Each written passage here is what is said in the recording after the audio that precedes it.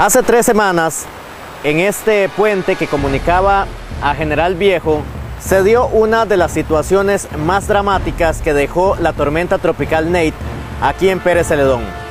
Don Raymond Mejías, con 32 años, sirviendo a la policía de tránsito, venía de su casa, se dirigía hacia la delegación a trabajar. Él venía cruzando este puente en su vehículo cuando la fuerza del agua se trajo abajo la estructura. Los segundos que vivió los describe como un verdadero milagro, el milagro del puente. Aquí está su testimonio.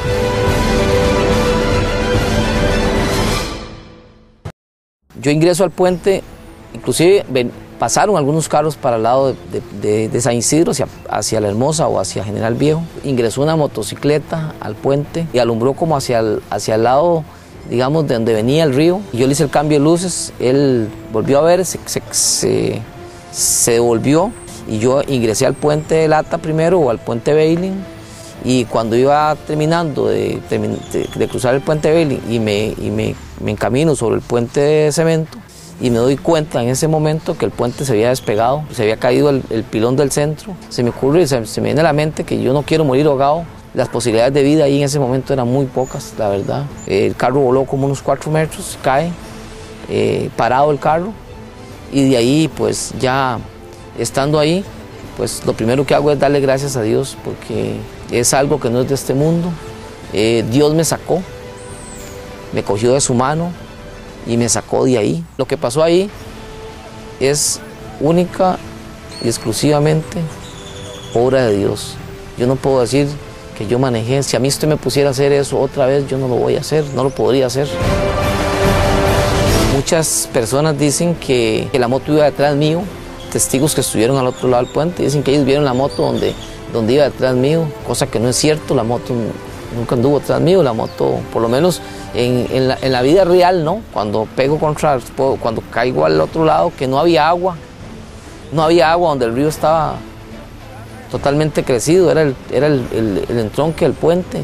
Dios tenía un propósito con, con ese asunto, no había agua. Yo llego y veo la, la, el cable de fibra óptica que que se estaba como arrancando, arrastrando en el, en el, pavimento.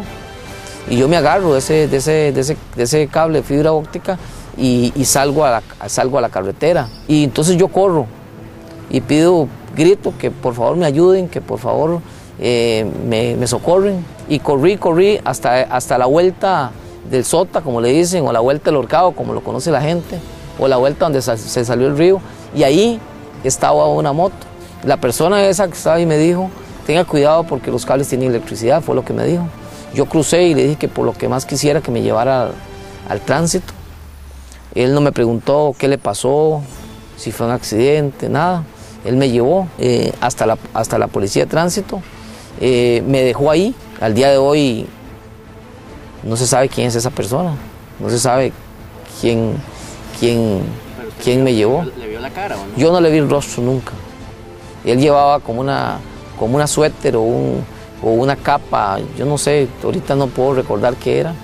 Y él nunca volvió a ver hacia atrás, nunca me, nunca me que le nunca me, permitió que le viera el rostro. Y, llegó al tránsito, él no me preguntó nada, ni preguntó está herido, ni nada. Dio media vuelta con su motocicleta y se fue.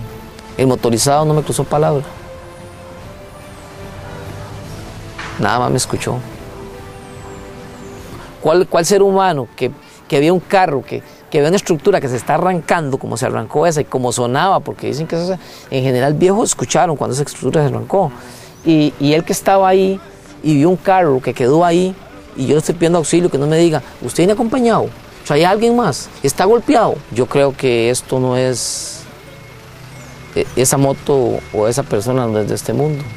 Fue alguien que eh, estuvo ahí para ayudarme, Creo firmemente en que Dios me dio una nueva oportunidad de vida y hoy, a través de este medio de comunicación, quiero darle gracias a Dios y la honra y la gloria para Dios. Y, alguien me sacó de la mano de ese puente porque lo que yo viví ahí eh, es difícil de poder describir. Esos segundos que yo viví ahí, tuve la muerte a la par mía.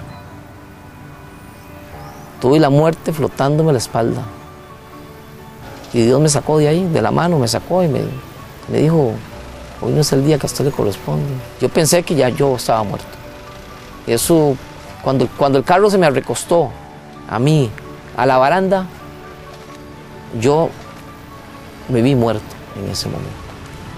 Porque no tenía, no había explicación lógica, yo no tenía cómo salir al otro lado, el puente estaba despegado y el río, las fieras pegaban, chocaban contra la estructura metálica. Yo le puedo decir a mi familia que, que a partir de, de ese día y posiblemente hasta que muera trataré de ser mejor, mejor padre, trataré de ser mejor esposo, trataré de ser mejor vecino, trataré de ser mejor hombre. ¿Ves qué sensación se siente cuando llegan personas a visitarlo a uno a la casa y se abrazan con uno y lloran? Y dan gracias a Dios porque uno está vivo.